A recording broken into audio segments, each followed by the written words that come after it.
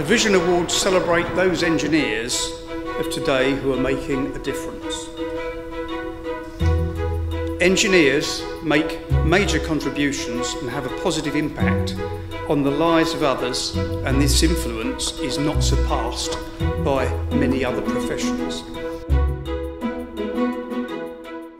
It feels amazing to be honest, um, just to have that recognition for all my achievements that I've had over the past four years and the effort that I've put in over the past four years as well during my apprenticeship. Um, and it sort of gives me a platform to go on and promote apprenticeships in the future as well. It's a bit surreal actually. I, I never expected to win it when I entered. It was one of those things um, a senior manager at work encouraged me to enter and uh, I'm, I'm really glad I did obviously. You know, very happy with the runner-up place. It's, it's quite exciting. At the minute I'm on a graduate development scheme so I started there last September so I've not actually spent that much time in powertrain yet but I'm currently doing rotations around the company so it's a good chance to develop knowledge in a broad range of areas which is really good. So what excites me about engineering is the fact that everything around us is engineered. And modern engineers now have to work on making things economically stable as well as environmentally friendly. And working on this tight timescales as technology is improving faster and faster, we need to keep up with it and ensure that we have the highest innovation. Metrology for me is, is I find it very interesting. I think it's just such a diverse subject that, um, that you can be very much involved with manufacturing or design and stress analysis.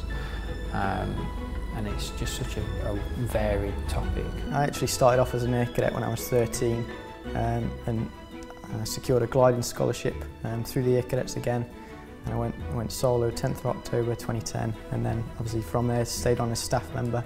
Being on a gliding site we deal a lot with you know, heavy diesel engine and the winch so I, I think I sort of started to see it um, you know, different systems and, and got interested in that. The winch tend to tend to break, so I had to you know, spend quite a lot of time trying to fix it, and I enjoyed that, you know, solving the problems. When I actually look back and think about what I've actually achieved and the experiences that I've had going to different countries to work and working with different employers as well, um, I'd say that's been a main part of why I've had that sort of progression and I have always loved cars, always from you know, a really, really young age. I've always wanted to work with cars. I did work experience at Ford at 17 um, and I, from the moment I got there I just knew that this is what I wanted to do. I wanted to be involved, I wanted to work with cars this closely.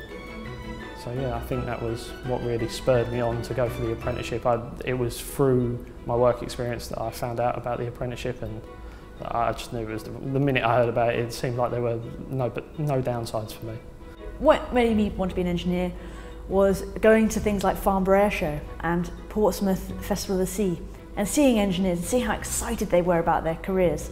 See, engineering is more than just a job. It's people, people are genu genuinely really passionate about what they do. And I think it's because engineering is such a broad um, environment, so each person can find the bit of engineering that really excites them.